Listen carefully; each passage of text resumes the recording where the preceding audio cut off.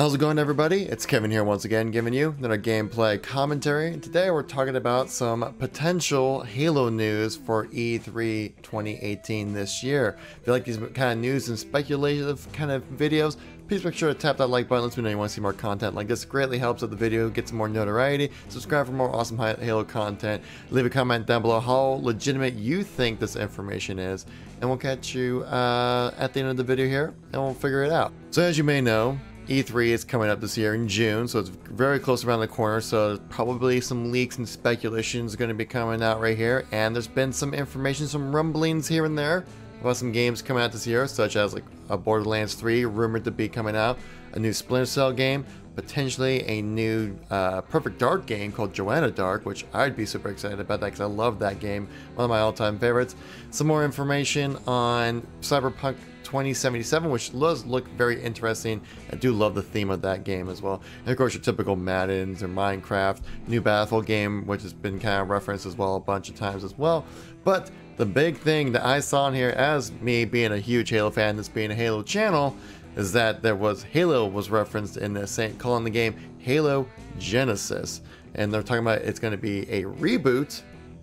It's going to have split screen, it's going to be on a new engine, Warzone 2.0, a multiplayer beta coming out 2018, and a teaser for the release of it in 2019. Now this, to me, makes a lot of sense. Uh, because one, Halo Genesis, it makes sense for that title because Genesis was actually a, uh, I believe it was a planet, or at least a, something like that, or structure or something like that, uh, that was featured in Halo 5 for like a for a couple for a few levels actually and so it was a very prominent uh, place for the Halo 5 campaign to take place on. So it would make sense that this game would be called Halo Genesis. Now they say it's a reboot. Now I'm not quite sure exactly what they mean by a reboot when they're calling it Genesis. Do they mean as a reboot of the gameplay, rebooting of the story, and just tossing out everything Halo 5 talked about?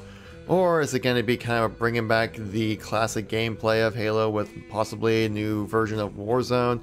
I mean, it's, it's all speculation at this point. Like I said, uh, there's nothing, uh, nothing's been, uh, nothing at all has been mentioned about the Halo, new Halo game coming out uh, in either 2018 or 2019. So many times these leaks just before a game's release can be very true.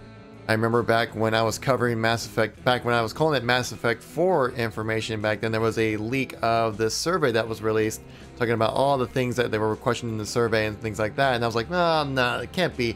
But said the game's placed in Andromeda. It can't be placed in Andromeda. That's so far away. Humans can't get there. But ends up, and that ended up being Mass Effect Andromeda and pretty much everything in that survey was true. And that was released oh gosh, must have been like a year before the release of that game. And so, right about now is probably when you have some finalization happening with Halo, because my guess is that there won't be a new Halo coming out this year.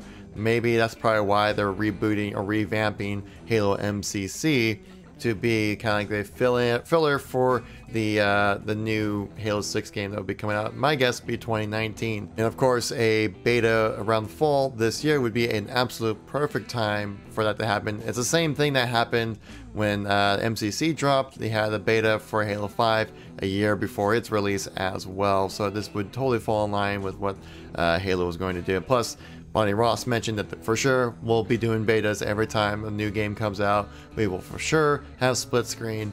My guess is they probably have to do a new engine if they really wanted to make it 1080p, 60 FPS, and still have it work well on the old original Xbox Ones. Now I will link the website that mentioned this. It was on 4chan and it was on a thread here, so I can link that in the description down below if you want to check that out. And uh, so you can kind of read for yourself. I mean, it's all, it's just literally just states game, what they're doing, year.